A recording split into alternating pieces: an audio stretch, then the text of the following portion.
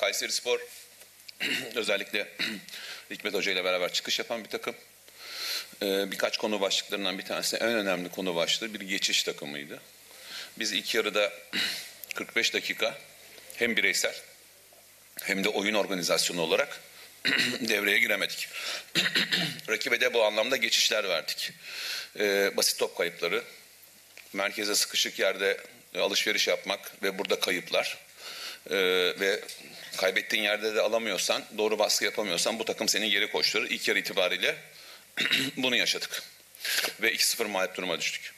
Taraftarımız vazgeçmedi. Hem geldiler hem de bize sonuna kadar ilk yarı itibariyle tekrar hem devre arası hem maç içindeki geri dönüşümüz için bize son derece destekte bulundular. İkinci yarı itibariyle biraz daha doğru saha dağılımı, biraz daha pasın şiddeti, biraz daha hareketlilik ve kenarları kullanma, oyuna giren oyuncuların katkıları, 49. dakikada golün gelmesi bu sinyali verdi. Hem taraftar bununla beraber bizi iten bir güç, ee, ve Trabzon'un Trabzonspor'un DNA'sında bu dönüşler vazgeçmemek hep vardı. Bugün de şampiyonluk yolundaki hikayelerde bu tür maçların olması bu hikayeyi daha da e, güzelleştiriyor. Oyunda son bölümünde çok riskler aldık. bir geçiş takımına karşı hem oyunu kazanmak istiyoruz hem de geçiş yememek istiyoruz. İki tane net pozisyon verdik geçişten.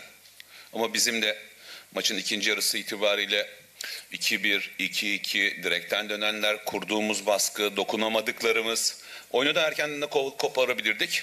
Bir yandan oyunda baskı kurup hücum etmeye çalışırken bir yandan da geçiş yememeye çalışıyorduk ki bu riskleri aldığımızda iki tane de geçiş verdik. Bütününde bir taraftara dünyanın her tarafından gelen Trabzonspor taraftarı ve sevdalılarına bize verdikleri bugün geri dönüş için, destek için onlara teşekkür ediyorum. Ee, vazgeçmeden buna devam etsinler. Yarın sabah çalışmaya başlayacağız. Salı günü Trabzonspor'un olduğu her yerde hedef vardır. Ee, kupada bizim için önemli hedeflerden, büyük hedeflerden bir tanesi. Salı günü içeride oynayacağımız Antalya Spor müsabakasına hazırlanacağız. Canini benim geçen sene geldiğimde e, Trabzonspor'a Alanya Spor maçında ilk sahanın içinde görmüştüm. O maçta ben değildim. İhsan Hoca vardı takımın başında.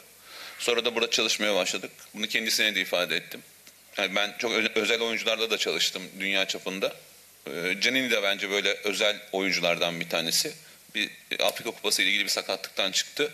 Ee, Canini çok özellikleri olan oyunun içinde bunu e, performansa yansıtan bir takım. Sezon başı da böyle transfer teklifleri vardı. Kendisiyle de özel birebir görüşmemde net bir şekilde bunun e, gerçekleşmeyeceğini, bu hikayede de güzel bir hikayenin içinde olması gerektiğini 6 ay çalıştık senden vazgeçemem bir başkasıyla 6 ay daha kaybedemem diye de kendisine de söylemiştim. O da buna doğru cevap veriyor. Bir kere karakterli bir oyuncu. Bugün oyuna da girip bu oyunda çok önemli fark yarattığını düşünüyorum.